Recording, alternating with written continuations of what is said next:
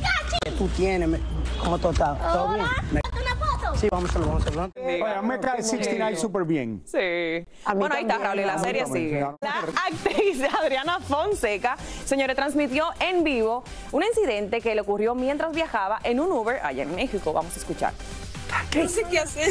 Voy arriba del carro, voy en el segundo piso. Me recogió una cuadra más adelante, me viene gritando, venía casi chocando. No, no, no, Ay, no, y cuando le dije que le bajara, me dijo que, que bajara mi pie de un, de un lugar donde traes el carro asqueroso lleno de Ah, pasos. mi coche está asqueroso. Me viene gritando. Ah. Dice que soy racista. Le dije que soy Adriana Fonseca, que por favor, y me dice que le Reverte palabra y que soy racista.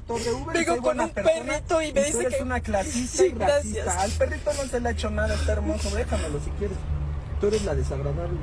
Pues la actriz luego sacó un comunicado por escrito explicando que lo que había pasado antes del en vivo, obviamente, fue la que la llevó a hacer el en vivo porque parece que estaba medio agresivo el conductor y el chofer. Esperemos que todo esté bien con Pero ella. qué susto, Sí, qué susto. que te pase Sí, eso. ay no, qué susto, qué feo.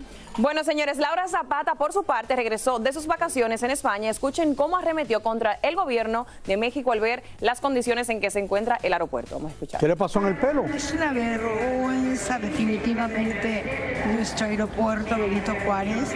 Está descuidado, sucio, la escalera eléctrica no sirve, eh, nadie sabe nada, hay bolas, hay tráfico, hay... Qué cosa tan horrorosa. Sigan votando por estos malditos de Morena. Bueno, ahí está Laura Zapata siempre contundente con lo que dice. Bueno, y otro que no se quedó callado fue 69, quien arremetió contra el comunicador dominicano Santiago Matías, pero no sin antes complacer a un pequeño fanático que se le acercó. Mírenlo aquí. Mira, este video yo te lo quiero decir con toda la sinceridad, para los foques. Mira, tú eres un tu madre, ¿viste? Y lo digo con toda la falta de respeto. Me tu hijo que, que, que tú tienes. Me, ¿Cómo tú estás? ¿Todo bien? Me la madre tuya, me la madre. Una foto, una foto. Sí, vamos a vamos a. ¿Dónde está tu celular? Ey, no tengo, pero tú la subes, yo la veo. Está bien, mira, mete aquí en el video. Ya. ¿Claro qué? Ya tú sabes. Mira, me con la madre tuya. Tú y tus 200 páginas de, de campaña sucia que tú tienes, tú te pones ahí como un viejo eh, vago. Ahí te pones a subir cosas que te conviene a ti. Eres un, un- Tú me dijiste, llega al patio, llega al patio. Estoy aquí, mira, en la calle, mira. Mm. Con una moña y el show. Tú eres un cobarde, yo me meto en la calle, yo solito, sin seguridad ni nada. Me c tu hijo, me c tu madre, me c una esposa tuya. Tú eres un cobarde, yo llegué aquí al patio, tú eres un payaso, te quedaste como un payaso.